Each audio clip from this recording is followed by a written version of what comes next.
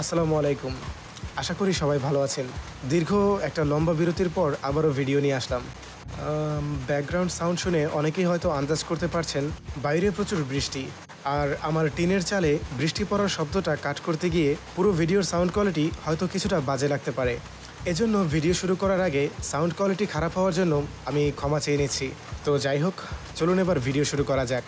Black Adam গল্পের শুরু হয় বর্তমান পৃথিবী থেকে পাঁচ হাজার বছর পূর্বে। তখন কান্দাক নামক শহরে স্বৈরাচারী রাজা একতন বসবাস করত। ব্ল্যাক ম্যাজিক, অর্থাৎ কালো জাদুর প্রতি স্বৈরাচারী রাজা একতনের প্রচুর আকর্ষণ ছিল। রাজা একতনের উদ্দেশ্য ছিল সারা পৃথিবীতে রাজত্ব করা। তাই রাজা একতন তার উদ্দেশ্য বাস্তবায়ন করার জন্য তার সকল সৈন্য ব্যবহার করার পাশাপাশি কালো জাদু দিয়ে একটি মুকুট তৈরি করার চিন্তা ভাবনা করে ফেলে। তাছাড়া এই কালো জাদুর মুকুট ব্যবহার করলে রাজা একতন হয়ে যাবে চির অমর। কিন্তু প্রবলেম হলো, মুকুট বানানোর জন্য এটোরনিয়াম নামক এক ধরনের খনিজ পদার্থের প্রয়োজন।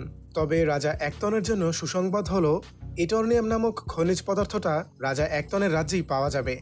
তাই ইটর্নিয়াম সংগ্রহের উদ্দেশ্যে রাজা একতন তার রাজ্যের সকল নিরীহ প্রজাদের খনিতে কাজে লাগিয়ে দেয়।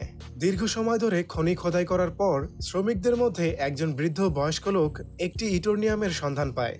তখন ওই বৃদ্ধ শ্রমিক মনে করেন, ইটোরনিয়াম সংগ্রহ করে দেওয়ার জন্য রাজা হয়তো তাকে পুরস্কৃত করবেন। কিন্তু বাস্তবতা ছিল বড়ই নির্মম। পুরস্কারের আশায় থাকা বৃদ্ধ শ্রমিককে রাজার লোকেরা হত্যা করে ইটোরনিয়াম ছিনিয়ে নেয়। ফলে সাধারণ জনগণের অধিকার আদায়ের জন্য ওই সময় ছোট্ট একটি বাচ্চা রাজা একতনের স্বৈরশাসনের বিরুদ্ধে আওয়াজ তোলে। আর সাধারণ জনগণও ওই বাচ্চাটার সাথে একমত হয়। তাই রাজা একতন তার রাজ্য হারানোর ভয়ে ওই বাচ্চাটাকে মেরে ফেলার সিদ্ধান্ত নেয়। এরপর পুরো রাজ্যের জনগণের সামনে ওই বাচ্চাটাকে মেরে ফেলার আয়োজন করা হয়। আর ঠিক তখনই একটা অলৌকিক ঘটনা ঘটে যায়। জল্লাদ যখন বাচ্চাটার দেহ থেকে মাথা আলাদা করার জন্য কোপ দেয়, ঠিক তখনই বাচ্চাটা অদৃশ্য হয়ে যায়। কারণ কিছু দেবতা রাজ্যে ন্যায় বিচার প্রতিষ্ঠা করার জন্য এই বাচ্চাটাকে সিলেক্ট করেছিল। তাই জল্লাদ হত্যা করার আগেই দেবতারা এই বাচ্চাটাকে তুলে নিয়ে আসে। এরপর একজন সাধারণ মানুষের তুলনায় অধিক পরিমাণে শক্তি, বুদ্ধি, স্পিড এবং বজ্রপাতের শক্তির পাশাপাশি সেজামের সবগুলো শক্তি দিয়ে এই বাচ্চাটাকে করে তোলে ব্ল্যাক অ্যাডাম। তারপর ব্ল্যাক অ্যাডামকে রাজা একতনের স্বৈরশাসনের বিরুদ্ধে লড়াই করার জন্য আবারও রাজ্যে পাঠিয়ে দেয়। তবে এতক্ষণে এটর্নিয়াম ব্যবহার করে রাজা একতন তার মুকুট বানিয়ে ফেলেছিল। তাই মুকুটের কালো জাদু নিয়ে রাজা একতন আর সেজামের পাওয়ার নিয়ে ব্ল্যাক অ্যাডাম দুজনের মধ্যে লড়াই শুরু হয়। লড়াইয়ের ফলে রাজমহল ধ্বংসের পাশাপাশি রাজা একতনের রাজত্ব ধ্বংস হয়ে যায়। আর সাধারণ জনগণকে স্বৈরশাসন থেকে মুক্তি দেওয়ার জন্য ব্ল্যাক অ্যাডাম হয়ে ওঠে সকলের কাছে প্রশংসনীয়। এরপর পাঁচ হাজার বছর অতিবাহিত হয়ে গেছে এবং আজকের উন্নত কান্দাক শহরে আবারও বহিরাগতদের স্বৈরশাসনের আবির্ভাব ঘটেছে। কারণ রাজা একতনের সাথে লড়াই করার পর ব্ল্যাক অ্যাডাম বেঁচে আছে নাকি মারা গেছে, এই বিষয়ে সাধারণ জনগণের কাছে কোনো প্রকার নির্দিষ্ট তথ্য নেই। তাই পাঁচ হাজার বছর পর ফাঁকা মাঠে আবারও স্বৈরশাসনের আবির্ভাব। বর্তমানে কান্দাক শহরে বহিরাগত ইন্টারগ্যাংয়ের স্বৈরশাসন বিরাজমান। ইন্টারগ্যাংয়ের লক্ষ্য রাজা একতনের মতোই। তারা কান্দাক থেকে মূল্যবান ইটর্নিয়াম সংগ্রহ করে উন্নত মানের অস্ত্র বানাতে চায়। তাই ইন্টারগ্যাংয়ের অত্যাচার থেকে মুক্তি পেতে কান্দাকের বাসিন্দা করিম আর তার বোন একটি পরিকল্পনা করে। অবশ্য করিমের পরিকল্পনা করার কারণ ইন্টারগ্যাং করিমের বোনের হাজব্যান্ডকে হত্যা করেছিল। তবে এখানে একটা কথা বলে রাখি। যেহেতু এটা একটা হল প্রিন্ট ভিডিও, তাই কিছু কথা বুঝতে অসুবিধা হয়েছিল। হয়তো এজন্য গল্পের চরিত্রের নামে উচ্চারণ ভুল হতে পারে, অথবা গল্পের ধারাবাহিকতায় কিছুটা অসামঞ্জস্যতা দেখা দিতে পারে।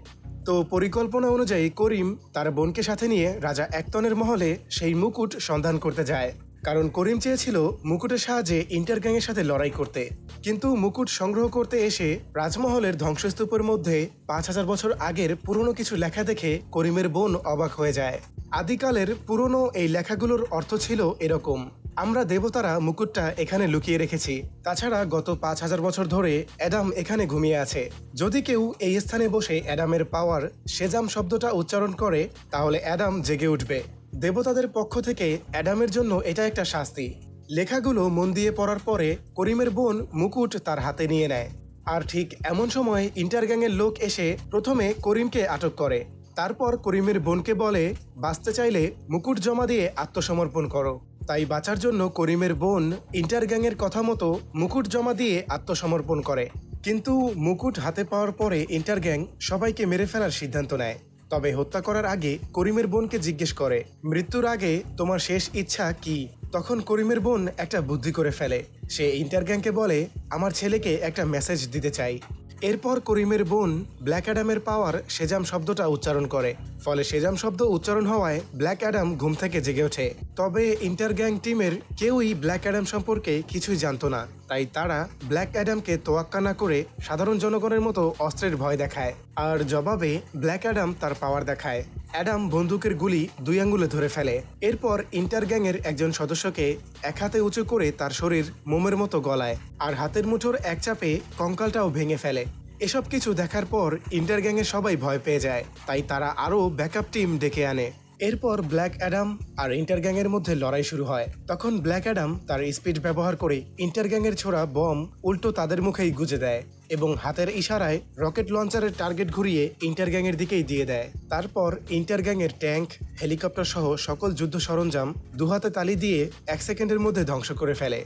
তবে ইন্টার গ্যাংয়ের একজন সেনা আহত অবস্থায় ব্ল্যাক অ্যাডামকে টার্গেট করে ইটারনিয়াম দিয়ে তৈরি ছোট্ট একটি রকেট লঞ্চ করে। ইটারনিয়াম ব্লাস্ট হয়ে ব্ল্যাক অ্যাডামের চাদর পুড়ে যায়।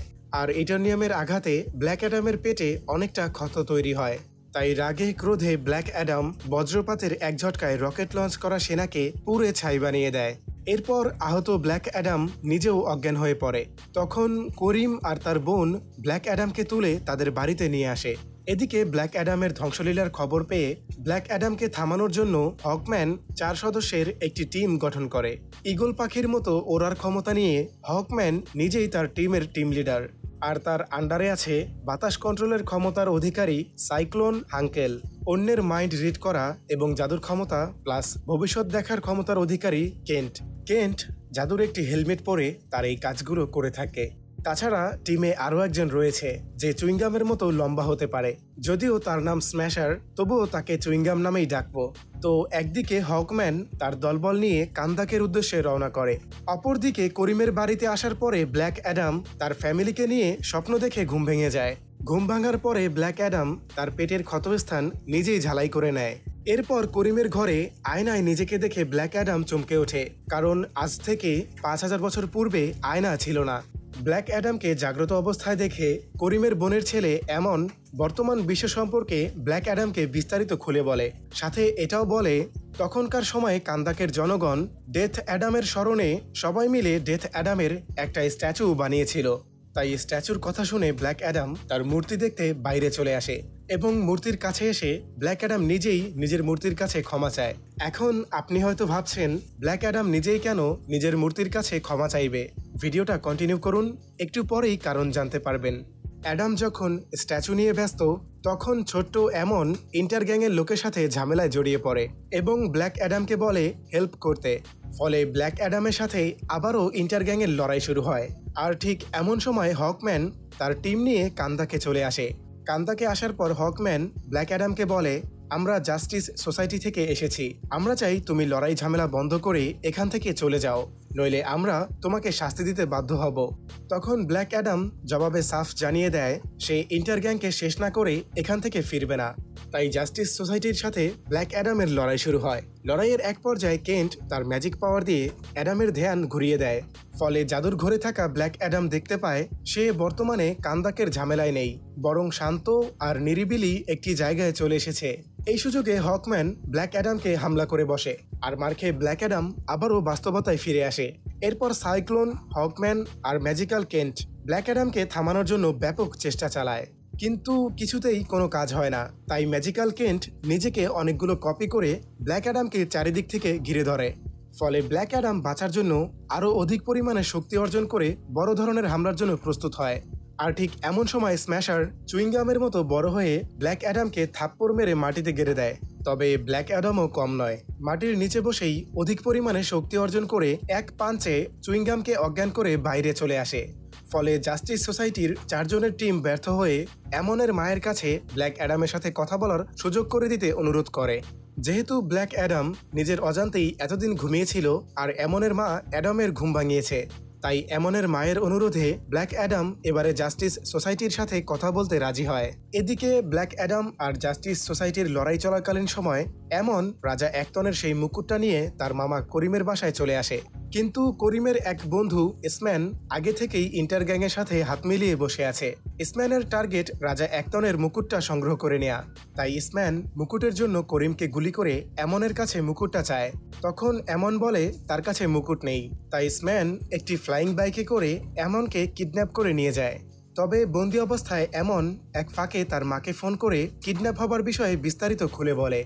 তাই ছেলের বন্দি হবার খবর পেয়ে এমনের মা ব্ল্যাক অ্যাডামের কাছে তার ছেলেকে উদ্ধার করার জন্য হেল্প চায়। এরপর ব্ল্যাক অ্যাডাম আর ইন্টার গ্যাংয়ের মধ্যে আবারও লড়াই শুরু হয়। তবে এবারে ব্ল্যাক অ্যাডামের সাথে জাস্টিস সোসাইটিও ইন্টার গ্যাংয়ের বিরুদ্ধে লড়াইয়ে যোগ দেয়। কিন্তু লড়াই ঝাপটা করেও কোনো কাজ হয় না, কারণ স্ম্যান তার বাইক একটি কাবার ভ্যানের মধ্যে লুকিয়ে রেখেছিল। ফলে সবাই যখন ইন্টার গ্যাংয়ের অন্যান্য বাইকের সাথে লড়তে ব্যস্ত, তখন স্ম্যান আরামসে এমনকে কিডন্যাপ করে তার আস্তানায় নিয়ে আসে। তবে এমনকে উদ্ধার করতে ব্যর্থ হলেও হকম্যান, স্ম্যানের দুজন সহযোগীকে ধরে আনে। আর ব্ল্যাক অ্যাডাম তাদের দুজনের মুখ থেকে স্ম্যানের লোকেশন বের করে ফেলে এবং এমনের রুমে রাজা একতনের মুকুট খুঁজে পায়। যেহেতু ইসম্যান শুধু মুকুট চায়, তাই ব্ল্যাক অ্যাডম আর জাস্টিস সোসাইটি সবাই এক হয়ে এমনকে ফিরিয়ে আনার জন্য ইসম্যানের সাথে মুকুটের বিনিময়ে একটা চুক্তি করতে চলে যায়। তবে জাস্টিস সোসাইটি যখন ইসম্যানকে কীভাবে সামলাবে সেই প্ল্যান করতে ব্যস্ত, ততক্ষণে ব্ল্যাক অ্যাডাম ইসম্যানের আস্তানায় ভাঙচুর করে সবকিছু তছনছ করে ফেলেছে। এরপর ব্ল্যাক অ্যাডাম ইসম্যানকে মারার জন্য হামলা করে। কিন্তু ইসম্যানের চারিদিকে থাকা অদৃশ্য একটি জালে অ্যাডামের শক্তি বাধা পড়ে। তখন ইসম্যান হেসে জবাব দেয়, এটা পিওর ইটরনিয়াম দিয়ে তৈরি করা সুরক্ষা জাল। তবে অ্যাডমের প্রস্তাবে মুকুটের বিনিময়ে স্ম্যান এমনকে ছাড়তে রাজি হয়। কিন্তু মুকুট হাতে পাবার পরে স্ম্যান ব্ল্যাক অ্যাডামকে বলে, আমি রাজা একতনের শেষ বংশধর। রাজা একতন যখন গুরুদকে হত্যা করেছিল, সেদিন তুমি যেভাবে কান্না করেছিলে, আজ আবারও এই ছেলেটাকে বাঁচাতে ব্যর্থ হয়ে ঠিক সেভাবেই তুমি কান্না করবে। আমাদের পূর্বপুরুষেরা এই মুকুটের রহস্য যুগের পর যুগ একে অন্যের কাছে বলে গেছে। আজ সময় হয়েছে এই মুকুটের সঠিক ব্যবহার করার। এরপর স্ম্যান বলে, মৃত্যুই জীবনের মুক্তিপথ। তারপর ইটোর্নিয়ামের সুরক্ষা জাল বন্ধ করে দিয়ে মুকুট নিজের মাথায় পড়ে স্ম্যান এমনকে গুলি করে। তবে সুরক্ষা জাল বন্ধ করার সুযোগে ব্ল্যাক অ্যাডাম দ্রুত গতিতে গুলি ধরে ফেলে আর বজ্রপাতের হাই ভোল্টেজে স্ম্যানকে সহ স্ম্যানের আস্তানা পুড়িয়ে ছাই করে ফেলে। তখন হকম্যান, জাদুকর কেন্ট আর চুইংগাম এমনের মা আর এমনকে ব্ল্যাক অ্যাডামের বজ্রপাতের হামলা থেকে বাঁচিয়ে নেয়। এরপর চুইংগাম স্ম্যানের পুড়ে যাওয়া লাশের উপর থেকে মুকুট উদ্ধার করে নিয়ে আসে। আর হকম্যান ব্ল্যাক অ্যাডামকে জিজ্ঞেস করে স্ম্যান বলেছিল, গুরুদ মারা যাবার সময় তুমি কান্না করেছিলে। আমরা জানতে চাই, কে এই গুরুদ? তখন অ্যাডাম জবাব দেয়, সেদিন রাজা একতনের বিরুদ্ধে আমার ছেলে গুরুদ আওয়াজ তুলেছিল। আর আমার ছেলে গুরুদি জাদুকরদের কাছ থেকে অ্যাডামের পাওয়ার পেয়েছিল। পাওয়ার পাবার পরে রাজা একতন আমার ছেলের সাথে লড়াইয়ে বারবার ব্যর্থ হয়। তাই একদিন রাজা একতন আমাদের ঘরে হামলা করে বসে। সেই হামলায় গুরুদের মা মারা যায় আর আমিও আহত হয়ে মৃত্যু সজ্জায় এমন অবস্থায় আমার ছেলে গুরুদ এসে আমার হাত ধরে আমাকে সেজাম বলতে বলে। সেদিন আমি সেজাম বলার সাথে সাথে গুরুদের সব পাওয়ার ওর হাত থেকে আমার হাত হয়ে আমার শরীরে চলে আসে। তবে কীভাবে কি হলো কিছু বুঝে ওঠার আগেই রাজা একতনের লোকের হামলায় ছোট্ট অবুজ গুরুদ ওই দিন মারা যায়। এরপর রাগে ক্রোধে আমি অ্যাডাম থেকে হয়ে উঠি ব্ল্যাক অ্যাডাম। তারপর রাজা একতনকে সহ রাজা একতনের রাজমহল আমি ধ্বংস করে ফেলি। অন্যায়কারীদের আমি একটাই সাজা দিতাম, আর তা হলো মৃত্যু। এজন্য সে সময় কান্দাকের লোকেরা আমাকে ডেথ অ্যাডাম নামে ডাকতে শুরু করে, আর আমার এরকম প্রতিশোধের খবর পেয়ে যে জাদুকরেরা ব্ল্যাক অ্যাডামের পাওয়ার দিয়েছিল, তারাই আমাকে শাস্তিস্বরূপ পাঁচ হাজার বছর ধরে ঘুম পাড়িয়ে রেখেছিল। কান্দাকের জনগণ একজন হিরো চেয়েছিল, যে সবাইকে বাঁচাবে ঠিক আমার ছেলের মতো করে। কিন্তু তারা হিরোর বদলে পেয়েছিল ডেথ অ্যাডামকে। এই যে মূর্তিটা দেখছ, এটা আমার মূর্তি নয়। এটা আমার ছেলে গুরুদের মূর্তি। যাই হোক, পাঁচ হাজার বছর আগে জাদুঘরেরা চাইতো না আমি এখানে বসবাস করি। আর এখন তোমরাও চাও না আমি এখানে থাকি। তাই আমি আমার শক্তি ফিরিয়ে দিলাম। তবে তোমরা এটা খেয়াল রেখো, আমাকে যেন আবারও ফিরে আসতে না হয়। এরপর ব্ল্যাক অ্যাডাম, সেজাম শব্দটা উচ্চারণ করে সাধারণ মানুষে পরিণত হয়ে যায়। আর জাস্টিস সোসাইটি সাধারণ ব্ল্যাক অ্যাডামকে সমুদ্রের নিচে তাদের একটি সিক্রেট লোকেশনে কড়া নিরাপত্তায় বন্দি করে রাখে। অপরদিকে স্ম্যান মারা যাবার পর জাহান নামে চলে আসে। তখন জাহান্নামের কিছু দেবতা স্ম্যানকে বলে, সাবাক শব্দটা উচ্চারণ করো। তাই রাজত্ব ফিরে পাওয়ার লোভে স্ম্যান সাবাক শব্দটা উচ্চারণ করে ফেলে। আর জাহান্নামের দেবতারা তাদের পাওয়ার দিয়ে স্ম্যানের আত্মাকে ডেভিল, অর্থাৎ শয়তানের বডিতে ট্রান্সফার করে আবারও পৃথিবীতে পাঠিয়ে দেয়। এসম্যান পৃথিবীতে ফিরে আসার পরে কান্দাকে এসে জাস্টিস সোসাইটির উপর হামলা চালায়। ফলে জাদুঘর কেন্ট প্ল্যান করে বাকি তিনজন সদস্যকে বাইরে রেখে একটি ম্যাজিক্যাল সুরক্ষা দেয়াল তৈরি করে। এরপর সুরক্ষা দেয়ালের ভেতরে গিয়ে নিজের অনেকগুলো কপি করে এসম্যানের সাথে লড়াই চালিয়ে যায়। তবে এতগুলো কপি করেও কেন্ট খুব একটা সুবিধা করতে পারে না। ফলে কেন্ট বুঝতে পারে স্ম্যানকে থামানোর জন্য এই মুহূর্তে ব্ল্যাক অ্যাডামকেই প্রয়োজন। তাই কেন্ট জাদুর মাধ্যমে ব্ল্যাক অ্যাডামের সাথে যোগাযোগ করে ব্ল্যাক অ্যাডামকে মুক্ত করে দেয়। এরপর ব্ল্যাক অ্যাডামকে বলে, যদি কান্দাক শহরের জন্য কিছু করতে চাও, তাহলে এটাই তোমার জন্য উপযুক্ত সময়। ফিরে এসো কান্দাকে, আর পূরণ করো তোমার ছেলের দেখা স্বপ্ন। কথা শেষ করে জাদুঘর কেন্ট লড়াই করতে গিয়ে এসম্যানের হাতে মারা যায়। আর কেন্ট মারা যাবার পরে হকম্যান কেন্টের হেলমেট নিয়ে লড়াইয়ে নামে। তবে হকম্যানকেও স্ম্যান বেকায়দায় ফেলে দেয়। এরপর জাহান্নামের সাথে একটি যোগাযোগের রাস্তা তৈরি করে সেই রাস্তার মাধ্যমে অনেকগুলো জাহান্নামের সেনাবাহিনী স্ম্যানের পক্ষ হয়ে লড়াই করার জন্য পৃথিবীতে নিয়ে আসে। ফলে জাস্টিস সোসাইটির সাথে স্ম্যান আর কান্দাকের সাধারণ জনগণের সাথে জাহান্নামের সেনাবাহিনীর লড়াই শুরু হয়। লড়াই চলাকালীন সময় হকম্যান কেন্টের মতো নিজেকে অনেকগুলো কপি করে ফেলে। তারপর হকম্যান স্ম্যানকে ধরে রাখে। আর ঠিক এমন সময় ব্ল্যাক অ্যাডাম এসে উপস্থিত হয়। ব্ল্যাক অ্যাডাম আসা মাত্রই কোনো প্রকার সময় নষ্ট না করে এসম্যানের দুই শিং ধরে এসম্যানকে আকাশে নিয়ে যায় এবং এসম্যানের মাথার দুই শিং ধরে টান দিয়ে চিরে দুই টুকরো করে হত্যা করে ফেলে। আর এসম্যান মারা যাওয়ার সাথে সাথে জাহান্নামের সেনাবাহিনীগুলো পুরে ছাই হয়ে আবার জাহান্নামে চলে যায়। পরিবেশ স্বাভাবিক হয়ে যাবার পর জাদুঘর কেন্টের হেলমেটটাও হাওয়ায় মিশে যায়, আর ব্ল্যাক অ্যাডাম রাজা একতনের পুরনো সিংহাসন ধ্বংস করে ফেলে। তবে কান্দাক শহরের সবাই যখন ব্ল্যাক অ্যাডামের কারণে নিরাপদ, তখন জাস্টিস সোসাইটির হেড অ্যামান্ডা ব্ল্যাক অ্যাডামকে ধমক দিয়ে বলে, কান্দাক শহরের ভেতরেই থেকো। শহর থেকে বাইরে বের হলে এর ফলাফল ভালো হবে না। তাই ব্ল্যাক অ্যাডামও কড়াভাবে প্রতিবাদ করে বলে, পৃথিবীতে এমন কেউ নেই যে আমাকে আটকাতে পারে। তবে অ্যামান্ডাও পাল্টা জবাব দেয়। অ্যামান্ডা ব্ল্যাক অ্যাডামের সাথে লড়াই করার জন্য পৃথিবীর বাইরে থেকে সুপারম্যানকে পৃথিবীতে পাঠিয়ে দেয়।